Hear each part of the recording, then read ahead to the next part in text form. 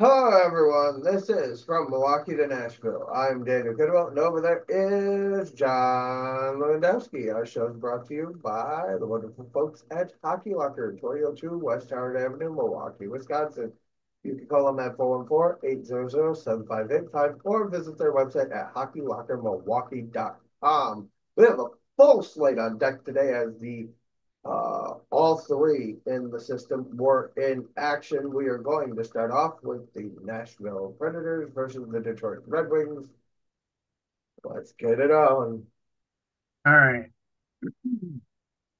So Nashville took on Detroit. Shots on goal in the first period. Both teams had 11 shots. In the second period, Nashville outshot Detroit 12 to 6. In the third period, Nashville outshot Detroit 16 to 7. And in total, Nashville outshoots Detroit 39 to 24. Detroit was better in the faceoff circle at 54% to 46%. Detroit went one for three on the power play, while the Predators go one for two.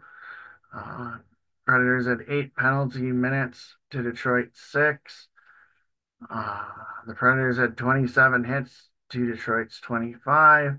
Detroit had 16 blocked shots to the Predators 12. Detroit had 16 giveaways to the Predators 9. And Detroit had 12 takeaways to the Predators 5. Scoring in the first period at the 848 mark for Nashville was Luke Schenn scoring his first of the year, assisted by O'Reilly his third and Nyquist his first. Then at the 1326 mark for Detroit, Vladimir Tarasenko scores his second of the year, assisted by Bergeron and Kasper with their first assists on the year. That was it for the first period. Then at the 317 mark of the second period, Detroit scores again on the power play with a goal from Dylan Larkin, his third of the year, assisted by DeBrincat and Kane, their second of the year.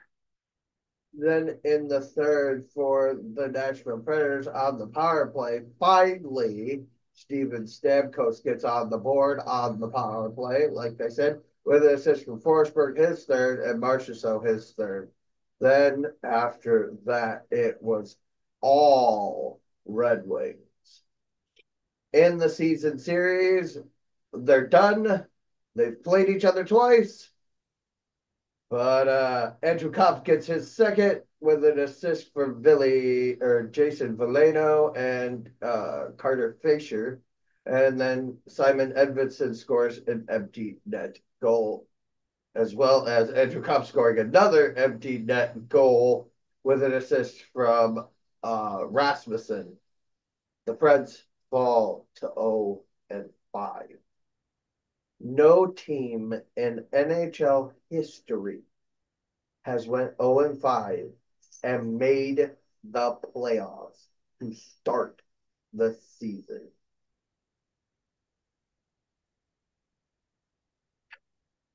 in net for the Red Wings was Alex Lyon stopping 37 of 39. You can't beat Alex Lyon.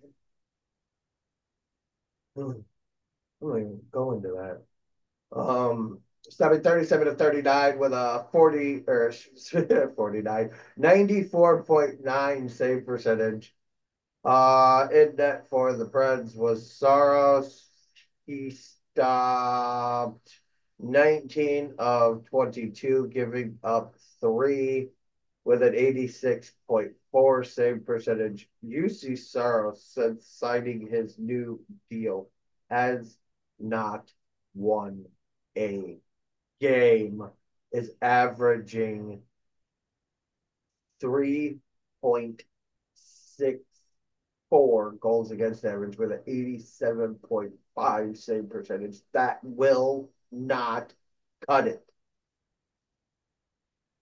His best game is the one he played against Detroit, where he made 21 saves and allowed two goals with a 90.5 per save percentage.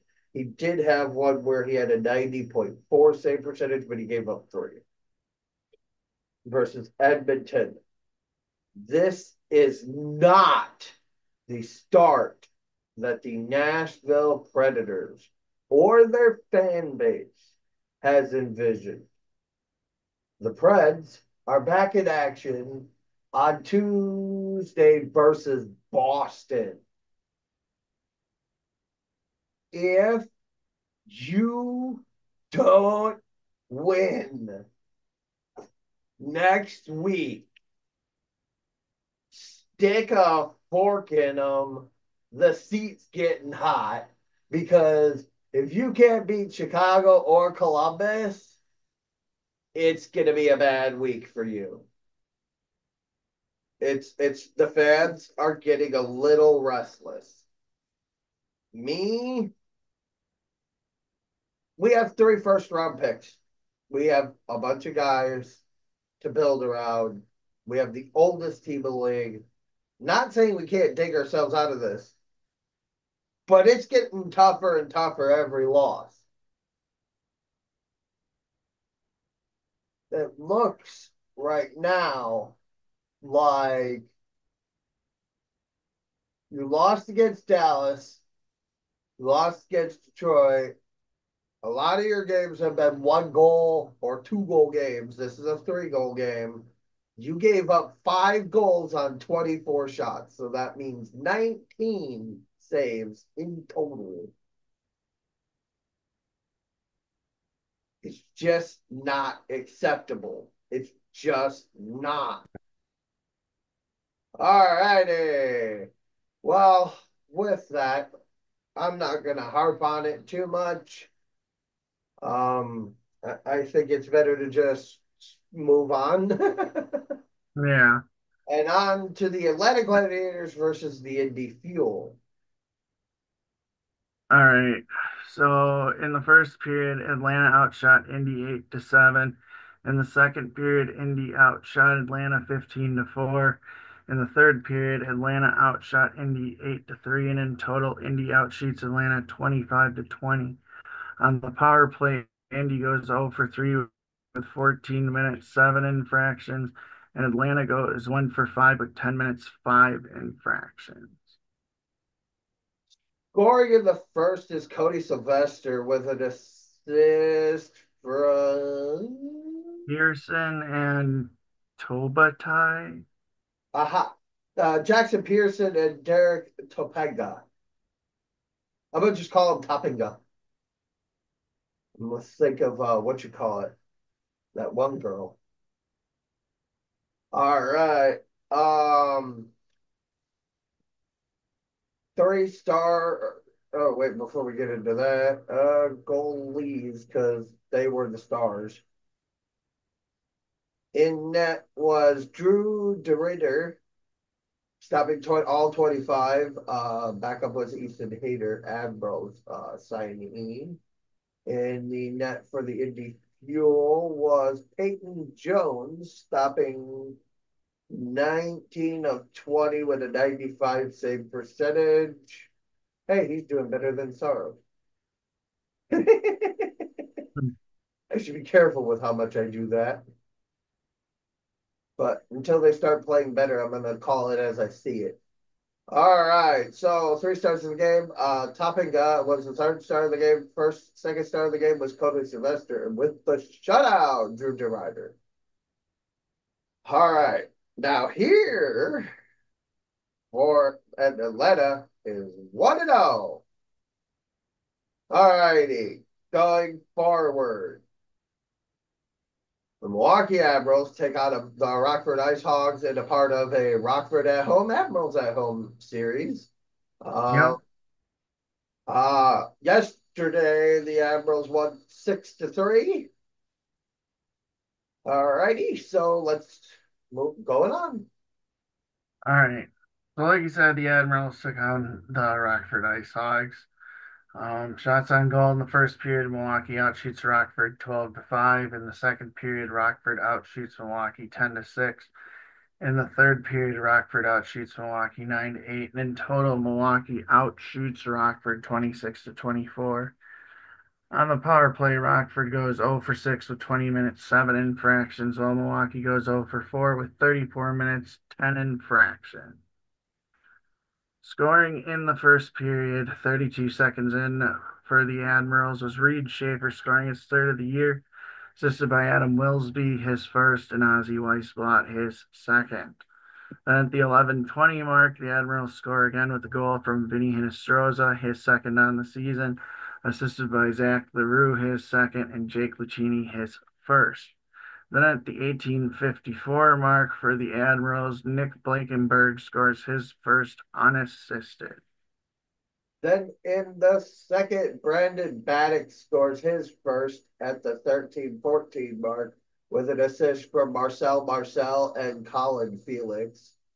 Uh, then at the 1626 mark of the third, uh, Frank Nazar scores his second with the goalie pulled, so they had the extra man out there.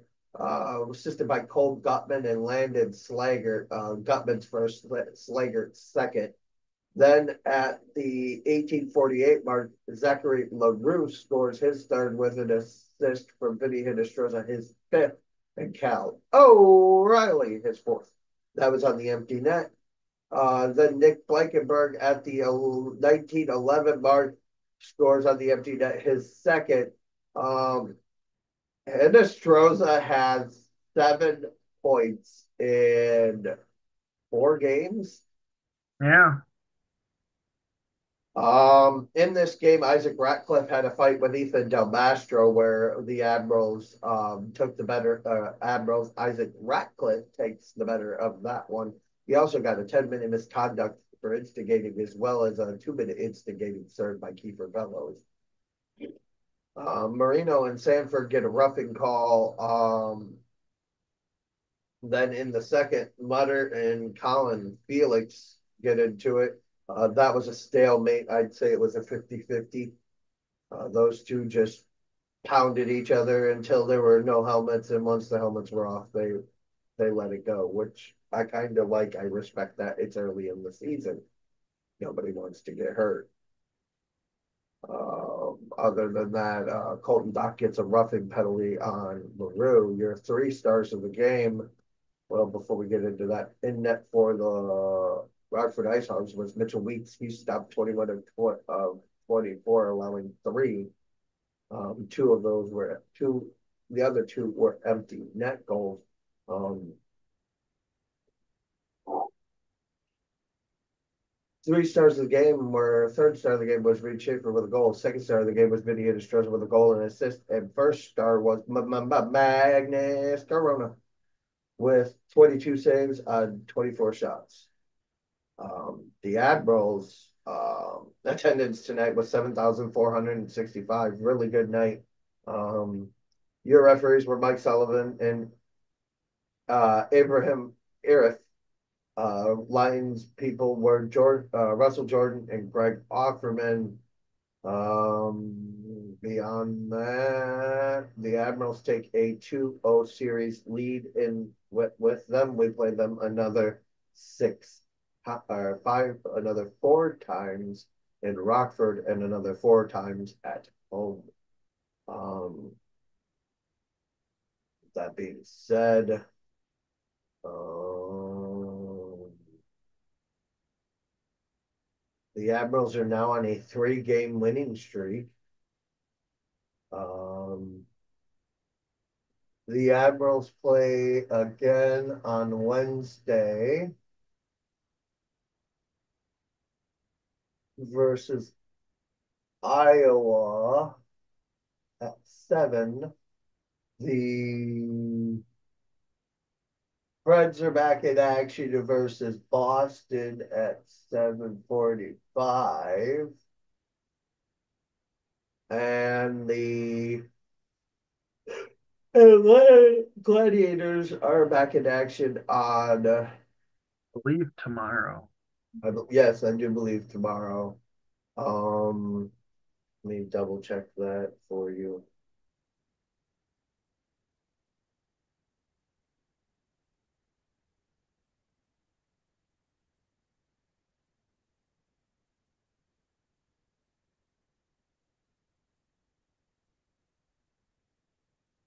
Yes, they played the Indy Fuel at 3 p.m and then they're back in action after that. Our next show for them is Friday as we will be covering that day um, with the Admirals, Wolves, Preds, Blackhawks, and Atlanta Gladiators versus the Florida Everblades. so Everblades fans, no, I'm not coming in with this this with bias. Y'all are used to me by now. Just know we're in it to have fun. Um, just so you know, next Saturday we are not doing a show. Wednesday or we are not doing a show as we are occupied with um personal and family stuff. Uh, Wednesday is a personal day. Uh, Saturday is a family day due to the um, trick or treat time of year. Um, I, I have other obligations as a Hmm. dad.